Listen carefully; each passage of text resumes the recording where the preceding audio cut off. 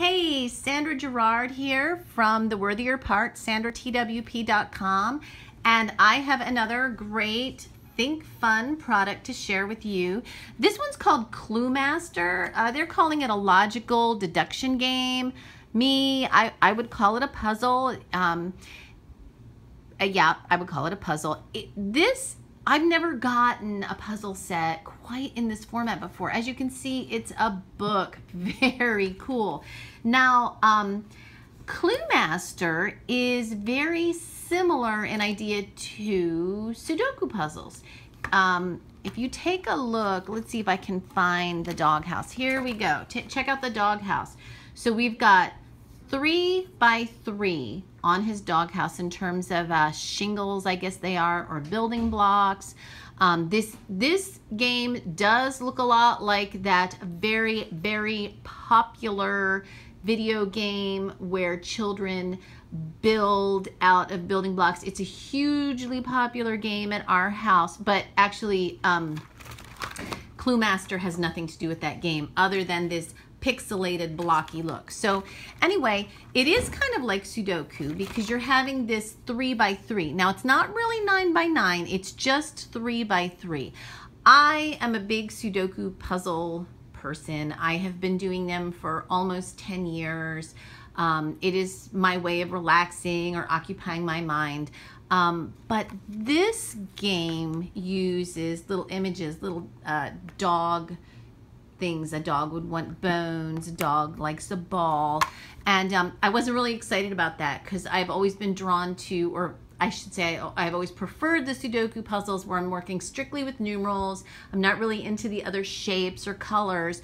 So I wasn't sure I was going to like this game, but it it's actually been really great. So um, let's talk a little bit about the format of the book. You have this book here, and in the back is this flap that you can put in or out. And this flap is the same on both sides. It has uh, the dog Tippy and his dog house on both sides so that as you are working the puzzles in the book, you can flip it over and you can work the puzzle here or if you're working on these puzzles, you can work the you can work on solving it over here. Um, one thing I really love, these guys, they are magnets. They're not super, super um, strong magnets. Like they're not going to make it onto my refrigerator. I don't have to worry about that. But this is like the ultimate travel puzzle because this is going to stick just enough and I'm not really worried about these pieces getting lost or slipping out or falling out. So how do you work these, these puzzles? Well, let me show you. We're going to start right here with number one. It shows you if you have these pieces in this place, so let's put them in there. There's a green dog bowl, blue dog bones, red ball, blue dog bones, red ball. Sorry about that, went down too far. Let's see. Red bones, green bones, blue bowl. So red bones, green bones, blue blue bowl. All right, so this is what I have left. Those are the only pieces that I have left. And it says the one on the left bottom has to be a ball. So that's got to be this. The one in the bottom middle has to be red. So that's going to be this. And then it says the one on the bottom right has to be blue. Well, wait a minute. The one I have left isn't blue. It's green. Hmm. Well, this has to be a ball. It doesn't say it has to be blue. It just says it has to be a ball. So what if I put the green ball there and then has to be blue and there we go. It's solved. And pretty much the way you check these is you just go back and you look at the clues and you say, does this match up what I have? Ball, red, blue. Ball, red, blue. Yes, it matches, so it's solved. If it's too challenging for you, they do have the answers in the back of the book here, and you can do a comparison. Now, that was a very beginner one. The next one we have is more challenging. Let's take a look at that. I'm just going to push these up to the top. So, here we see it needs to be dog bowl, dog bowl, ball. bowl, bowl, ball, but I don't know what color. Here we see across the top it's blue, blue, blue. So blue, blue, blue. Well, if this has to be a bowl in clue one and this has to be blue in clue two, then we know that has to go there. Clue three, the middle row has to all be green. So the first one we know from clue one is the bowl. We know from clue three it has to be green. Now, let's take a look at clue four. They're telling us about the final column. Bones, ball, bowl.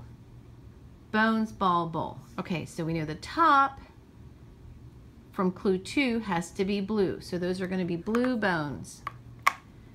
Now, before I even go any further, I only have one blue left, the ball. So it's going to have to go there. Okay, back to clue four ball, but we know from clue three it has to be green. So we'll put that there. Now we only have one green left. Back to clue three. The middle is going to have to be green. We only have one green left. It has to be this. and the bottom one has to be a bowl. And we only have one bowl left. So it's going to have to be the red bowl. We still don't know what to do for these, but if we look back to clue one, it tells us that bottom left corner is going to be a ball. We only have bones and balls left. So the ball goes here and the bone goes there and the puzzle is solved. so that is how these work. And I was having a good time last night working my way up. They get more challenging as you go along and eventually they stop showing you the entire puzzle and they only show you a section. So at this point you don't know, is this the top right corner? Is this, so is this this part of the, the puzzle or is clue three here this part of the puzzle? If we look at number six, it's got three, it's got a column of three and one to the left. So it could be the center column with this one to the left, or it could be the right column with this one to the left. Clue five is a big deal because we've got that plus sign shape and you can only get that one way in this puzzle. So we know the green bones will go there and then we can start working. Then we can start working the rest of the clues. And I'm gonna flip through really quick. As you go through, they become increasingly complex. And you really have to do some serious thinking and considering of alternatives. now, let me show you one more thing, moms and dads. If you're thinking of this for your child, and actually, you know what? If you're thinking of this for yourself, you might as well know too. When I opened this up, I wasn't quite sure um, how to approach it, and I was trying to be very responsible because Think Fun did send me this game for the purpose of testing it out, sharing with my readers, providing a review, providing my feedback. So I, I was trying to be really responsible. So first I read the introduction, I checked out Tippy the dog, so cute. And then I came over and I started reading the instructions. And the instructions start here and they go on and they go on and they go on. Are you seeing all of these instructions? And I really found myself losing patience with them. And so I decided that I was going to go ahead. I think I made it to here. And I decided to go ahead and start solving the puzzles. And, um, and it, it was okay. It really was okay. Um, if you are getting this for a child who is not so much a reader, I've come across many children um, in my experience before staying home with my kids who sometimes if they were more apt to be drawn towards logic and mathematical style thinking weren't quite as good at um, interpreting all of this written language so soon. If your child is more like that, go ahead and read it and then go through it with them or go ahead and just let them start. Just let them start. Um, if you're an adult you know, you're an adult. Decide what you want to do. Read as much as you think you need to read and then go ahead and get started. To be honest with you, I've shown you how to work the puzzles and you can just go ahead and um, have a great time with them. Now, one thing I do want to share before I go that has really intrigued me about the Clue Master puzzles is the makers are very clear. There is only one correct solution for each puzzle. So if you think that you have found a solution, say for intermediate number 12, and you come back here and you're looking at intermediate 12 and yours is different than this one, yours is not correct according to the makers of this puzzle, that this is going to be the only solution for 12 that's going to work.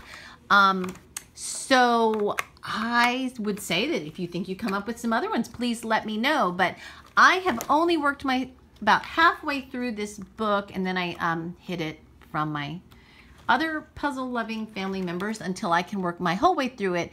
Um, but I'm going to be really intrigued to see if that's so, if we can't come up with any other solutions. So like I said, if you come up with alternative solutions, please leave me a comment down there in the videos or uh, come back to my blog and give me a comment. Um, thank you so much for watching and uh, Clue Master, check it out. Thank you, Think Fun, and uh, have a great day.